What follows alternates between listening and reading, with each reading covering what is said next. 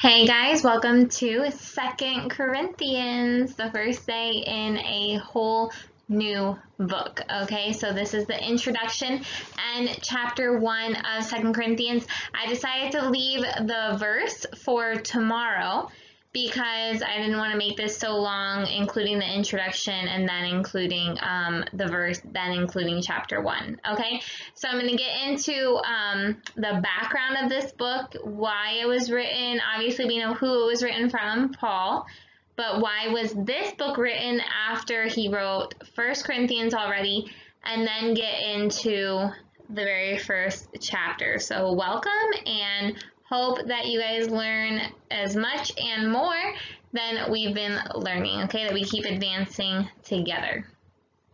Let's pray and then we'll get started. Dear Lord, thank you so much for today and thank you for each of the students. Thank you so much for Angela and for Kelly, for Ashley and Ismar, for Jose and Junior and Sadi and Paula. I pray that you be with each of them this week. I pray that you help them. I pray that you be with Jose as he's over um, in Ceiba. I pray that you be with um, each of the students as they plan out how they're going to to do their projects this week, that you help them to have the focus, have the determination, have the um, strength, and the energy to do the best and do it all with excellence. Lord, please give them their time management skills that they need and help them to remember the things that they learned. I pray that you be with us today as we enter a new book to study in your word. Thank you so much for your word. Thank you so much for the way that you have um, put your precious Bible in this world so that we can learn your living word and know what you want us to do in our lives, Lord. In Jesus' name, amen. Okay, let's do this thing. We first want to start out with an introduction so we understand the context of Second Corinthians, and it's good to take notes on this as well because when you go back to do your summary that you should be able to see remember why um, Paul was even writing this book. So you remember the Church of Corinth, I'm about to show you the map again about exactly where it is. They had a lot of problems and that a lot of it was due to the fact that they were in a very sinful area of the world um, that had different gods, had a lot of um, open sin of just, you know, they lived the way that they wanted to live, that they weren't accountable to God, but they were allowing that to get inside the church. And so Paul had to write a very strong letter to them to explain to them the things that they were doing incorrectly. So time went by, and at first they weren't exactly applying those things, but then Titus came. Remember, we, we talked about um, Paul's plan to send Titus, Tito, right, another pastor that was under him, a lot like Timothy, to the Corinthians when Paul couldn't get there yet to guide them and to be their pastor and to be a shepherd to them to get them back onto the right track. Um, for a while, Titus didn't um, was not able to communicate to Paul. But then time came where um, the good news came from Titus that yes, they were starting to implement the things that um, Paul had explained to them in the letter. So things were advancing. The problem was, um, though, that there was another problem on the side, though it was resolved, okay? The problem was that after Paul had written the first letter, there had come people inside sembrando discordia um, about Paul, especially saying that, you know, he wasn't really an apostole, that he apostolo, he wasn't really um, um, did not have the authority that people thought that he had had. So they were really just, what is that word, like ceniza? No sé la palabra en español. But like where you're just like, what do they say, like also echando tierra, like sembrando discordia, right?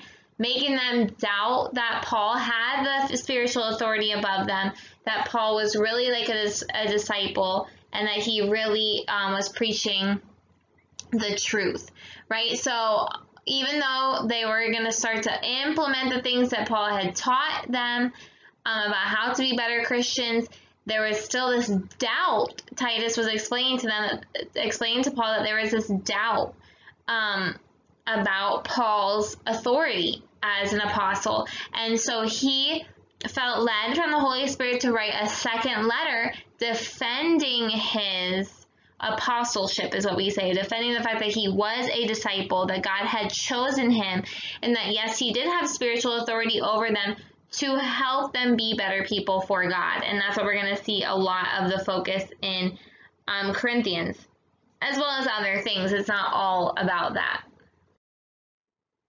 Okay, so let's take a deeper look. Look, there's the map again where Corinth is very close to Athens in Greece, right? Um, in the Mediterranean Sea. So he had written the first book of Corinthians from Ephesus. You can see Ephesus in the um, in the map right there. And now he's writing Second Corinthians from Macedonia, whereas where he went because um, he was led to go there instead of visit the Corinthian church at that time. Okay, remember Macedonia um, is where the Philip came from. Remember Philip um, and Alexander came from Macedonia, so it's in the north of Greece, I believe, um, when they conquered Greece and became the most um, powerful empire in the world. But anyway, so Macedonia is very close by. He's writing the, sec- the second Corinthians from there. So here's some information about Second Corinthians. The author is Paul. The audience is the church at Corinth again. The date is about the same time that he wrote First Corinthians. Not a lot of time had passed from then, 55 to 56, and the purpose is the defense of Paul's apostleship. So in keeping in line with the fact that um, that the whole book is about Paul's apostleship, here's a key verse that some people say is a verse that kind of explains the theme of the whole book. 2 Corinthians 4, 5 through 6. Porque no nos predicamos a nosotros mismos, sino a Jesucristo como Señor, y a nosotros como vuestros siervos por amor de Jesús, porque Dios que mandó que de las tinieblas resplandeciese la luz es el que resplandeció en nuestros corazones para ilumina, iluminación del conocimiento de la gloria de Dios en la faz de Jesucristo. So this verse is saying what? What is it expressing as the theme of 1 Corinthians? That they're doing this for Jesus Christ. They're not doing this for themselves. They're not doing this to glorify themselves. And so Paul has no reason to feign here or fake his authority over them spiritually to help them and guide them as a pastor and a shepherd should do to do the right things for God. Okay, so he's just basically saying there's no reason for people to our doubt in your mind about why we're doing what we do. We're not here to control you, we're here to help you live for God the way that God wants us to live.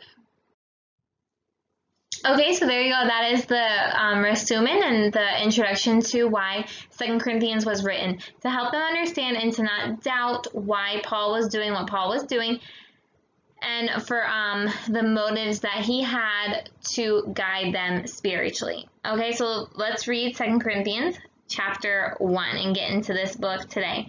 It says, Pablo, apóstol de Jesucristo, por la, voluntad de Dios y el hermano Timoteo a la iglesia de Dios que está en Corinto, con todos los santos que están en todo, en toda Acaya.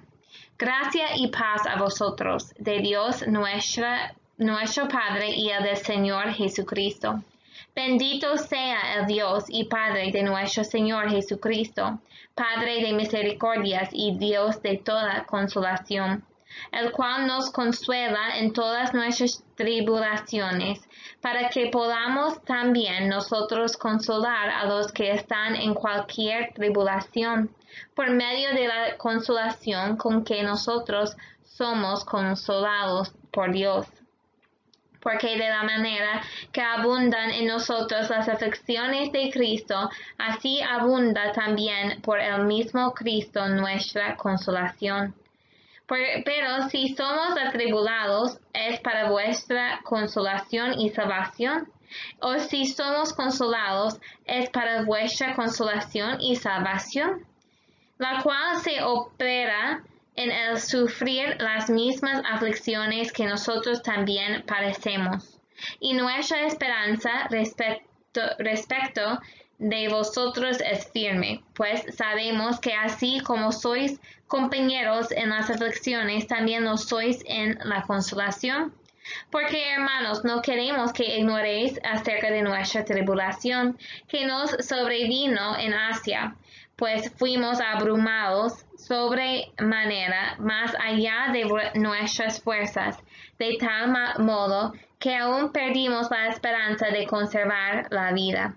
Pero tuvimos nosotros mismos sentencia de muerte, para que no confiásemos en nosotros mismos, sino en Dios que resucitó, resucita a los muertos, el cual nos libró y nos libra, y en quien esperamos que aún nos librará de tan gran muerte, cooperando también vosotros a, favor nuestro con la oración para que por muchas personas sean dadas gracias a favor nuestro por el don concedido, concedido a nosotros por medio de muchos. Porque nuestra gloria es esta, el testimonio de nuestra conciencia que con y sinceridad de Dios, no con sabiduría humana, sino con la gracia de Dios nos hemos conducido en el mundo y mucho más con vosotros. Porque no os escribimos otras cosas de las que leís leéis o también entendéis, y espero que hasta el fin las entenderéis. Como también en parte habéis entendido que somos vuestra gloria, así como también vosotros la nuestra, para el día del Señor Jesús. Con esta confianza quise, quise ir primero a vosotros para que tuvieseis una segunda gracia y por vosotros pasar a Macedonia, y desde Macedonia venir otra vez a vosotros, y ser encaminado por vosotros a Judea. Así que al proponerme esto, use quizá de ligereza o lo que pienso hacer, lo que lo pienso según la carne, para que haya en mí sí y no. Mas como Dios es fiel, nuestra palabra a vosotros no es sí y no. Porque el Hijo de Dios, Jesucristo, que entre vosotros ha sido predicado por nosotros, por mí, Silvano y Timoteo, no ha sido sí y no, mas ha sido en Él. Porque todas las personas de Dios son en Él. Y en Él, amén, sí,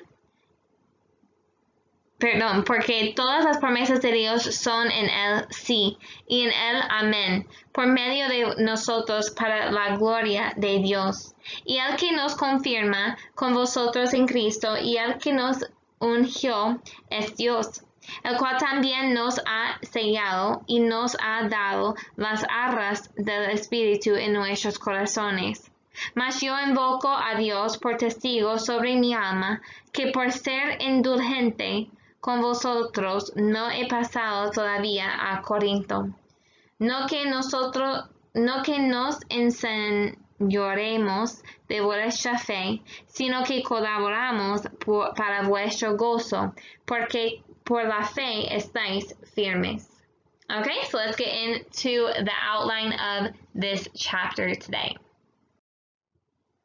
Okay, so for verses 1 and 2, we see the credibility, okay, credibility that Paul is establishing. Remember, he knows that he is writing to defend his apostle, apostleship and his authority. Not in a proud way, you guys, but think about it. You have to be able to trust in your leader's authority, okay? And so he heard that that, that is being, um, like, disrespected and that people are trying to sembrar doubt in people's minds. So he wanted to write to them to give them that confidence. So it says, Pablo, apóstol de Jesucristo, por la voluntad de Dios. So he is an apostle. He's declaring it right there. He, which is a disciple, right? He is um, there for the will of God. El hermano Timoteo a la iglesia de Dios que está en Corinto, todos los santos que están en toda Acaya. Gracia y paz a vosotros de, de, Dios nuestro Padre y del Señor Jesucristo. And we are family of God. So I am a disciple. I am here for the will of God and we are in the family of God together. That is his credibility that he establishes. Okay, then we're going to go into my favorite part about this chapter, honestly, which is talking about that God is the God of comfort. And guys, this is a huge promise. Write this down, mark this in your Bible. This is a promise that I think about a lot, a lot, a lot when I see people that I love going through hard times or that I'm going through hard times.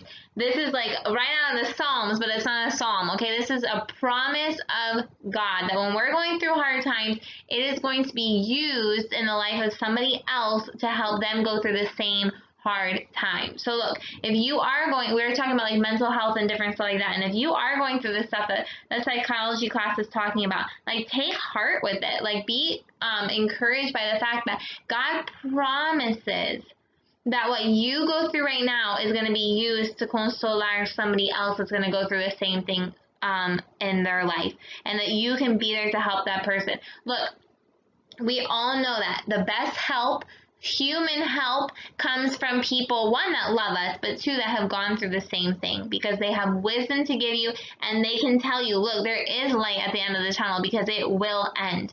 Okay, so look what it says in the verse um, 4. 2 Corinthians 1, 4. El cual nos consuela en todas nuestras tribulaciones para que podamos también nosotros consolar a los que están en cualquier tribulación por medio de la consolación con que nosotros somos consolados por Dios. So he will use it, you guys, and that's the coolest promise ever when you're going through a hard situation. Okay, so let's look at the um, outline for this. Verses 3 through 14, then there's going to be um, parts underneath it. Verses 3 through 14 is God's comfort in difficult circumstances. Okay, God's comfort in difficult circumstances, starting with verses 3 and 4. Use it to help others. So again, let me read it.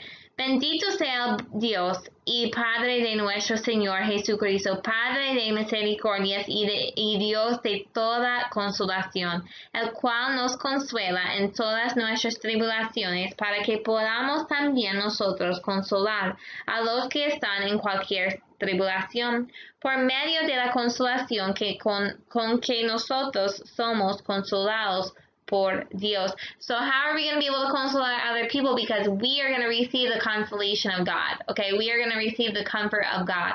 So it's a promise. There's two promises there, right? One, that God is going to help us, and two, He can use it to help other people.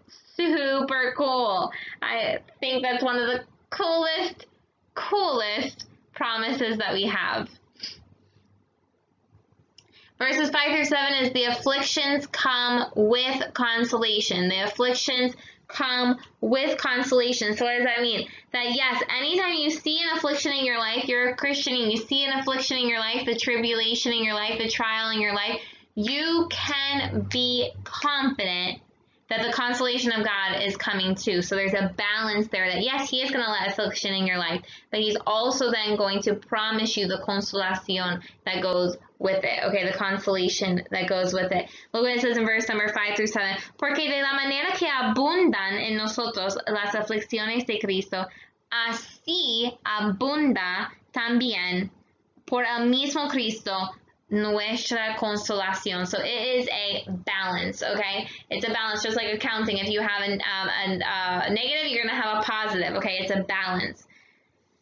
Pero si somos atribulados es para vuestra consolación y salvación. Okay, so it's for something, you guys, and it's for it's to receive the consolation, to be stronger, and to use it to help other people. So you like it's another huge promise, guys, to say what?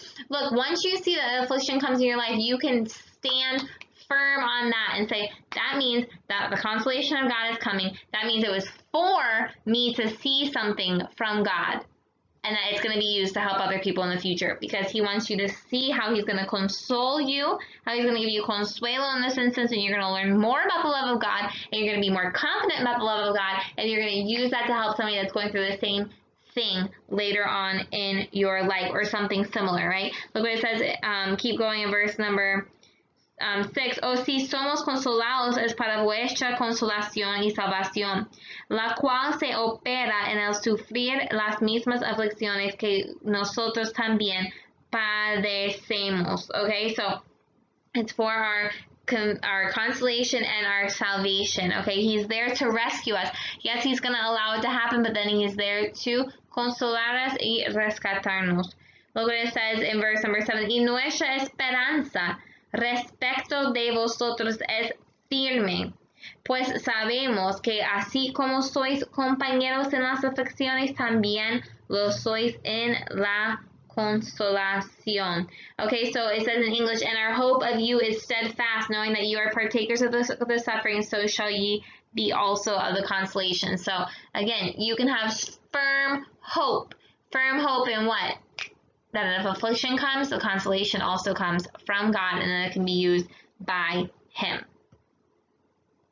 Then, number 8 through 10, he's also establishing his credibility with being able to tell them that because he says we've suffered. So it talks about the suffering of Paul. I can tell you that it's okay to go through the go through afflictions, to go through tribulations because consolation comes because I went through it and I received it. Look what it says in verse number 8 through 10. Porque hermanos, no queremos que ignoréis acerca de nuestra tribulación que nos sobrevino en Asia pues fuimos abrumados sobremanera más allá de nuestras fuerzas, de tal modo que aún perdimos la esperanza de conservar la vida. Okay, so I'm going to read the other two verses, but what are you saying? Look, I want you to know, and again, this also establishes his credibility and his authority as a disciple, because look, why would he suffer for these things if it wasn't for God? Why would he suffer these things if it wasn't for helping them spiritually, right? So he says, I want you to know, I don't want you to ignore the fact that we have been through so much stuff in Asia that we even lost confidence that we were going to live through it all. Okay? Pero tuvimos, in verse number 9, en nosotros mismos sentencia de muerte para que no confiásemos en nosotros mismos, sino en Dios que resucita de a los muertes. Okay, so they had a sentence of that death. They believed that they were going to die, but they um, they learned that it was so that they couldn't trust in themselves, but only in the will of God. Only in the will of God that can raise from the dead. El cual nos libró y nos libra y en quien esperamos que aún nos librará de tan gran muerte. Okay? Um, so what is he saying? He's saying like we had to learn that we couldn't trust in ourselves. God taught us that again, the affliction comes with consolation because what they what they did is they got consoled by God and taught that remember it doesn't depend on you, it depends on God who can rescue you. Um, so that, that they could trust in his deliverance and his um, help and not in themselves. And then we see verses 11 through 14 interaction with the church. So then he goes and kind of turns his focus on their part in it all, cooperando también vosotros a favor nuestra, nuestro con la oración, para que por muchas personas sean dadas gracias a favor nuestro por el don concedido a nosotros por medio de muchos. Okay, so he says, you guys helping together by prayer for us, that for the gift bestowed upon us by the means of many persons, thanks may be given by many on our behalf. Okay, so he says, there's prayer involved, okay, and he's thankful for it. Verse number 12, porque nuestra gloria es esta el testimonio de nuestra conciencia, que con sencillez y sinceridad de Dios, no con sabiduría humana, sino con la gracia de Dios, nos hemos conducido en el mundo y mucho más con vosotros. Okay, so I want to read that in English as well. For our rejoicing is this. So what do they get excited about? What are they regocijando in? Not in themselves, but in God and in this. The testimony of our conscience and in simplicity and godly sincerity and not with fleshly wisdom. They said that we know, we know, and we're here to tell you guys that in all sincerity and not with God and not with human wisdom, but with godly wisdom, in all sincerity and the grace of God, we had our conversation in the world and more abundantly to you, or that we know that the word of God is in the world and in you because of what we've done. That's our testimony. Our testimony, we are rejoicing in the testimony that for everything that we went through, for getting to the point of death, for um, for not knowing if we were going to live or or die.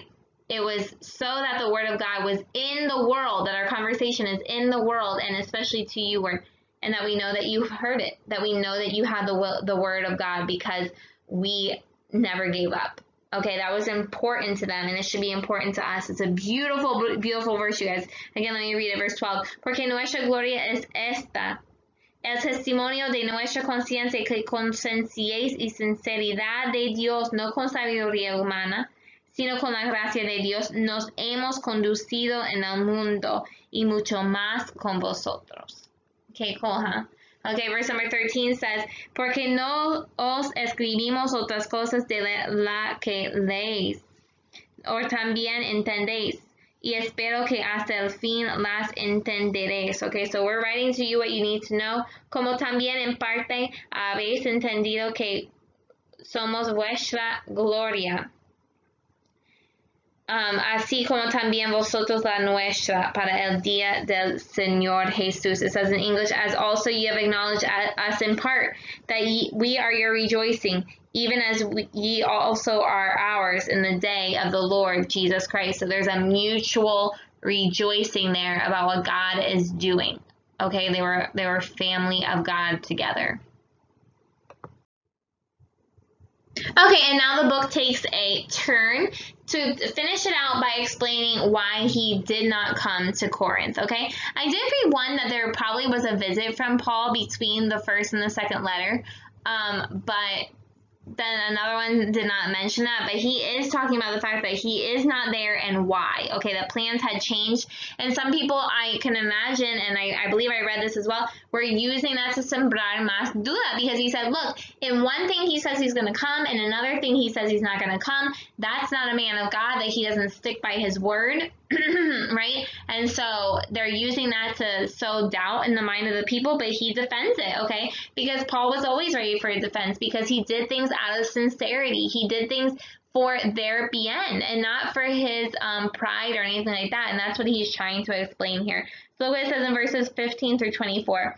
Con esta confianza quise ir primero a vosotros para que tuvieses una segunda gracia that means like another benefit of me coming and like um, checking in on you and helping you and, and counseling you and preaching to you. 16 says, y por vosotros pasar a Macedonia y desde Macedonia venir otra vez a vosotros y ser encaminado por vosotros a Judea. Así que, al proponerme esto, usted quizá de ligereza o lo que pienso hacer lo pienso según la carne, para que haya en mí sí y no. Mas como Dios es fiel, nuestra palabra a vosotros no es sí y no. Porque el Hijo de Dios, Jesucristo, que entre vosotros ha sido predicado por nosotros por mí, Silvano y Timoteo no ha sido sí y no, mas ha sido sí en él. Porque todas las promesas de Dios son el sí y en él amén, por medio de nosotros para la gloria de Dios. Y el que nos confirma con vosotros en Cristo y el que nos ungió es Dios, el cual también nos ha sellado y nos ha dado las arras del Espíritu en nuestros corazones. Mas yo invoco a Dios por testigo sobre mi alma, que por ser indulgente con vosotros no he pasado todavía a Corinto no que nos enseñoremos de vuestra fe, sino que colaboramos para vuestro gozo, porque por la fe estáis firmes.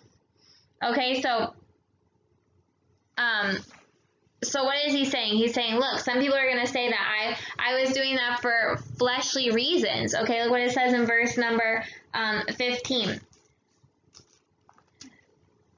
in this confidence, I'm telling you with confidence and in your trust, I wanted to come to you. Okay, in verse number 16, I wanted to come to you, to pass by you into Macedonia and to come out again unto you. So he wanted to come on the way to Macedonia and on the way back from Macedonia. He wanted to come to them on the way to Judea. Um, so he says, do you think that I did it lightly with ligerese, ligereza? Or do you think that I do it for the carne, that it's my desires, I just didn't feel like it, or I decided to go to Macedonia because it has better things, or, or whatever they thought, and that you would find in me that I would say yes and no at the same time? Okay, which is very interesting, you guys, because what does it teach us about Paul? And what does it teach us about the culture there? And what does it teach us about how we should be for um, leaders for God as well? That our yes should be yes and our no should be no. Okay, they were sensitive to that. And, and so was Paul, though. He's saying, look, I would never say yes and no. I would never try to confuse you. I would never try to go back on my word. What I say, I do unless God changes it. Right? So it's important for us the same thing. Like if we commit to things, we go. And the only reason why we shouldn't go is if God changes the plan and changes his voluntad. Okay, so like we should be people of our word. And that's what Paul was saying. Like, how could you think that I'm not a person of my word? Or how could you think that I'm going to give you two words just so you're confused and you don't know what to trust in me? It says 18, Más como Dios es fiel, nuestra palabra a vosotros no es sí y no. Okay, it's of God. Okay, it says, um, the Son of God, Jesus Christ, who is preached among you by us and by others, was not yes and no. It was yes. For all the promises of God in him are yes, and in him are amen, and unto the glory of God by us. So he's saying, look, it was it was my plan, but God changed the plan, and we go with what God wants us to do. And he said it was actually a good thing, okay? Um, because verses 21 and 22, he's establishing more credibility. He says, Now he that establishes us with you in Christ and hath anointed us is God.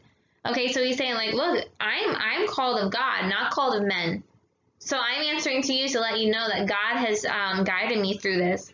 He also has sealed us, también nos ha sellado, and given the earnest of the Holy Spirit in our hearts. Okay, so um, God anointed me, Jesus Christ established me, the Holy Spirit is inside my heart, and I call God as a testigo, right? He says that it was better that I didn't go to you it says basically to me, it says in verse 23 and 24, Mas yo invoco a Dios por testigo sobre mi alma, que por ser indulgente con vosotros no he pasado todavía a Corinto, no que nos enseñoremos de vuestra fe, sino que colaboramos para vuestro gozo, porque por la fe estáis firmes. So to me, it basically says this like, he didn't want to come in a bad occasion again, okay? He had already had to be very hard on them. He had already had to, you know, regañarlos and scold them and speak to them very, very directly. And now he wanted to be able to come to them with gozo. He wanted to be able to come to them um, um, focusing on their gozo and increasing their joy in God and not so much in what they were doing wrong. So he said basically the timing of God is perfect. It's better that I'm going to be able to come when you guys have worked these problems out and I don't have to come because remember what he said in First Corinthians, I have no problem coming. When I come, it's not going to be pretty. Is basically what he says. If you're still in this stuff, it's not going to be pretty when I come. Okay? And so he didn't want to go through that again. He said, Look, I've left you my word, work it out. Let me come and enjoy gozo with you, that we're all doing what God wants us to do and we're all in the will of God. Okay, so he had a reason. So let's review what we saw in Corinthians. Verse 1 through 2, he's establishing his credibility. Look, I understand that there's doubt, he says but I am an apostle. I am um, in the in the will of God, and we are together in the family of Christ. Verses three through ten. There is comfort in the difficult circumstances. I know because I've been through it, and you're gonna go through it, and you're gonna be used by God to help other people. But in verses 15 through 24, but my plans did change. But trust me, it wasn't for me and my carne my flesh that I just didn't feel like or I had other plans. No, it was of God. And it was better because now if I come to you, it's going to be that we can enjoy each other's fellowship with gozo because you have worked these things out and that I don't have to come in a in a, a very negative um, direct way. You know, and every authority is like that. No authorities, guys, love to always be there regañando. You guys know that with me. I want to enjoy you guys. I, I want to um, spend time with you. I want to laugh with you and learn with you. I don't want to be yelling at you and losing my patience with you and telling you that you've been irresponsible or anything like that. So we can all understand that, that the the leader, you know, your moms and dads and your and your tias and, and everybody, they don't want to be with you, you know, going, I know, ¿qué está pasando? Why aren't you doing this? Why aren't you doing this? Now I have to beat you. Now I have to do this. No, they want to be there to enjoy you. You guys are great people. And that's what Paul said the same thing. I want to come and focus on your gozo, you know, not focus on what um, uh, the problems are. So trust me on this, okay? Paul is very humble to answer these questions, guys. You know, what would have happened if you would have just said, well, that's your problem, that's your problem, that's what you think about me. Let, let them think what they think about me, right? But he didn't say that. Why? Because if he would have said that, what would have happened? They would have gone on thinking like that and they wouldn't have learned from him. And in their mind, they wouldn't have trusted him. And then in their mind, they wouldn't have followed him to Jesus Christ, right? So he would be losing the opportunity to help them spiritually in their lives, which means then, then they would be losing because of it. And so he decided, you know what? My pride, my feelings, that kind of stuff doesn't matter. Their spiritual lives matter more to me. And that's huge. And that's leadership. And that's love. That's the love of God kind of love, not human kind of love. Okay, super, super cool to see that from Paul. So that's it for today, guys. Okay, let's pray. And um, I hope you have an amazing day. And that's this is your responsibility for today, right? I don't think that there's anything else, yeah. So keep that calendar close to you. Don't mess up this week, you guys. Come on. You can do this. There's no reason why you cannot do this. It's not like I put any impossible goals there, okay? I put goals that you can do and enjoy the projects because to me they're interesting. Okay? And you're like, I know to you they are. Blah, blah. No, they could be interesting to you as well. Hey, and they're better than sitting there studying for an exam. Yes or no? Mm-hmm. Yep. So enjoy. okay, let's pray. Dear Lord, thank you so much for today, and thank you for everything that you do for us. Thank you for your protection.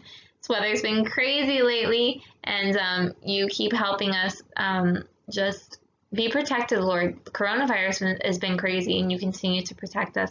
So I pray that you continue to do that, but just help us um, learn so much from this book, Lord. Help us learn from Paul, his humility, his confidence, his um, way to to defend you and to be loyal to you even when there's opposition, and to always find the good, to always find the positive aspects in tribulations and in being accused of things that he didn't actually do. And I just pray that you help us to be leaders like that as well. In Jesus' name, amen. Bye, guys. Love you. Have a great day.